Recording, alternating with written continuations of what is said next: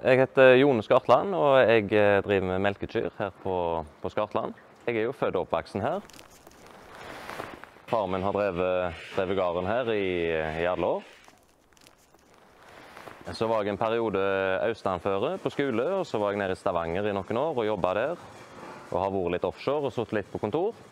Men så eh, frista det litt å bli, eh, bli bonde òg, så når nabogården kom til salgs så, og sjansen bød seg, så kjøpte jeg den og flytta hjem igjen til Vikebygd og ble bonde.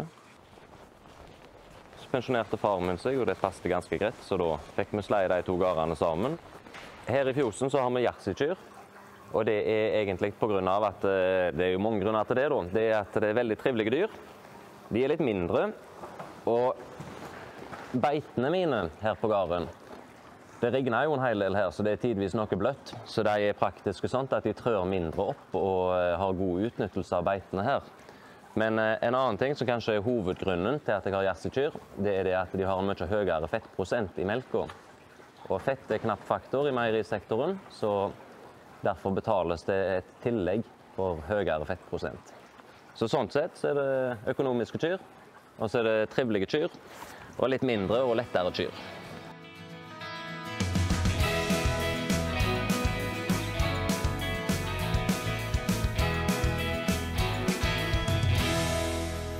Men det er nå eh, ombygde, ombygde gamle delen av fjosen som vi bruker til kviger og småkalver nå.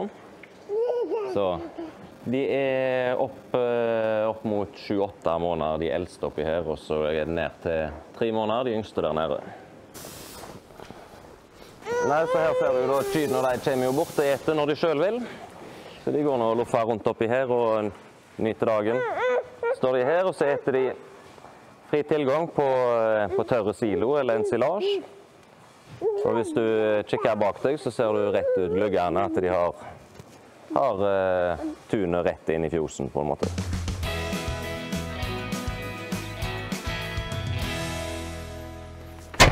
Vi hogde her i 2016-2017. Eh, så da sto der jo egentlig tett skog på noe av det, og noe sto der litt sånn ymse blandingsskog som egentlig ikke, ikke var til noe særlig. Men nå da, så, så begynner det å komme gress innimellom her og bli, bli greit beiteland av det. Veksteren er jo ikke i gang i det hele tatt ennå, men det begynner snart å komme. Så,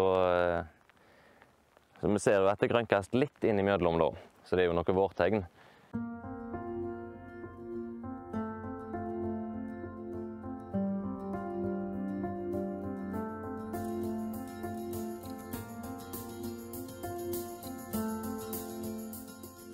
Det er for tidlig til å slippe kyrne utpå her ennå, så vi får drøye den til borti mai i år òg, tenker jeg. Ammekyrne går ute da, dag og natt og eh, livnærer seg av det de finner i beitene her. Så eh, da kommer det ganske mye fint gras innimellom her. Så det er ikke de helt ideelle forholdene for å dyrke kåden eller, eller slikt oppi her. Men kyrne liker seg her, da. De finner mye fint gras på sommerstida. Sånn som du ser der, da, så er det jo en teig med dyrka jord som eh, vi dyrker gras på. Vi beiter jo sånn som her oppe, sånn som ikke kan maskinelt høstes. Det er jo, det er jo fint for dyr å gå og beite her, men nede på, på flatene eller eh, sånn, så, så dyrker vi gras til, til, til vinterfôr til dyra. At, uh, du ser jo steingardene som går langs uh, ektekanten der borte. Det er jo ting som er lagd av folk for lenge siden. De har stått her med hest og slede på vintrene og flytta hver eneste steinen manuelt. Og under det som er jorda her, så er det jo gravd ned en masse steinkanaler, steinveiter. Så de har grovet med spa, og de har gått der og funnet lagelige steinen for å lage og drenere ut, ut vannet og eh, få til å dyrke noe her i det hele tatt. Så når vi graver med gravemaskin og fikser på, på veiter den dag i dag, så graver vi ikke stadig vekk ned på gamle steinveiter som er sett av folk på ja, 18 pil og bue. Det ligger vanvittig mye arbeid på gammelt år her. Her ser dere sauene våre. Det er 340 som skal få lam. Det er en veldig kjekk tid når sauene får lam og, og, det er vår og vi kan eh, slippe dem ut på nytt, flott gress. Er det òg en travel tid for hele familien. Vi går vakt eh, hele døgnet og passer på sauene i lammingen.